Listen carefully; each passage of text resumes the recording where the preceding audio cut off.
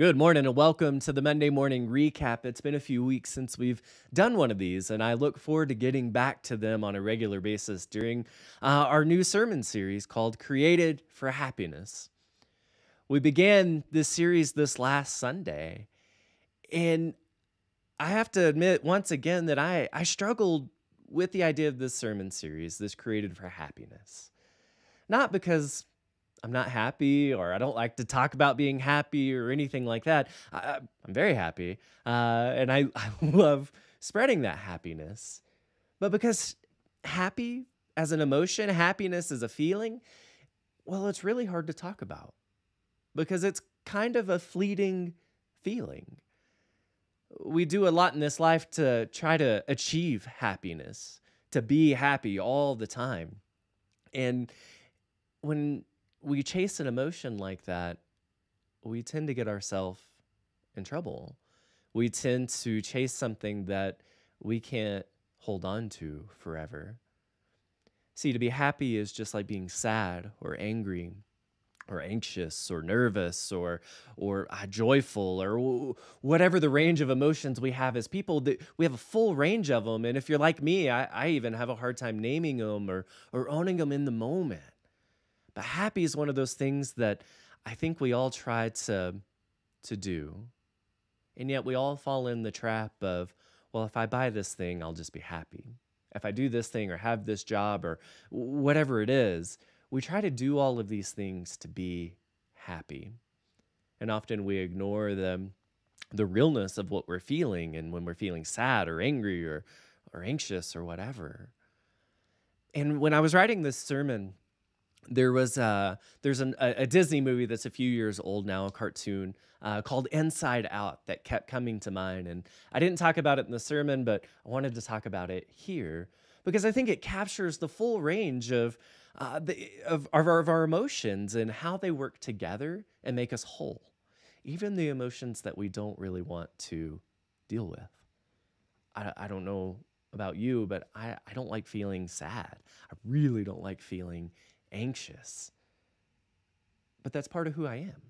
That's part of who we are as people is feeling all that that we have and when we dig into who we're created to be, that's the fullness of who we are, that full range. And this movie, Inside Out, journeys with this young girl coming, you know, coming of age and the things that she's dealing with with her family and growing up. And we get a peek inside her brain and you know, uh, you have anger who uh, controls the board sometimes, and, and anxiety and jealousy and nervousness and, and joy.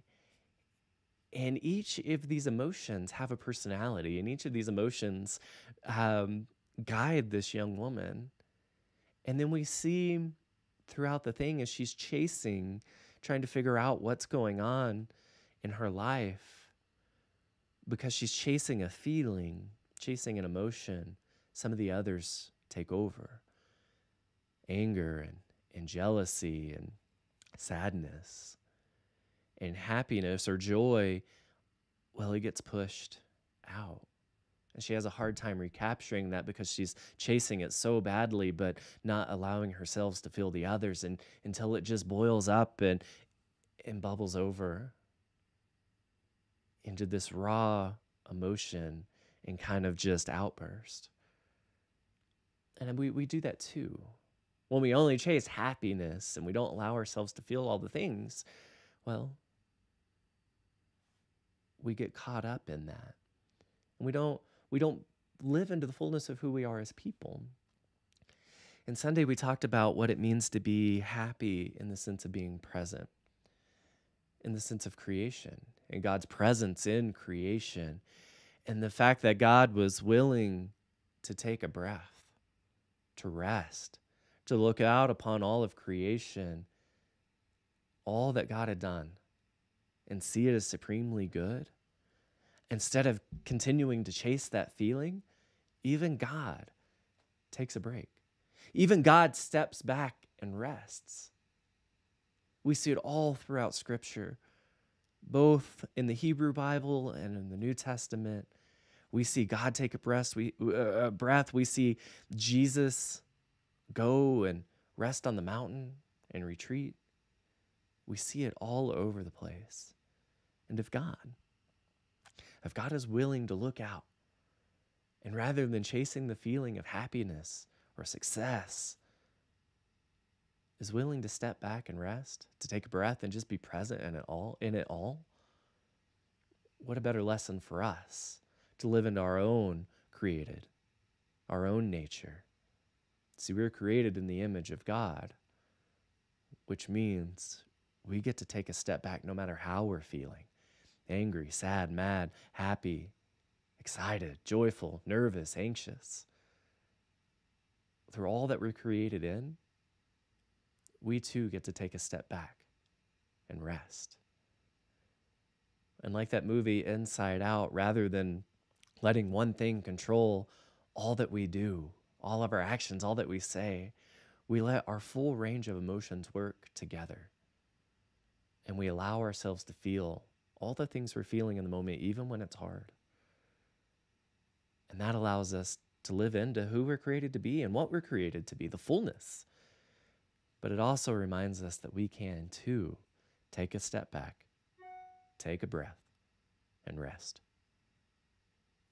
Go.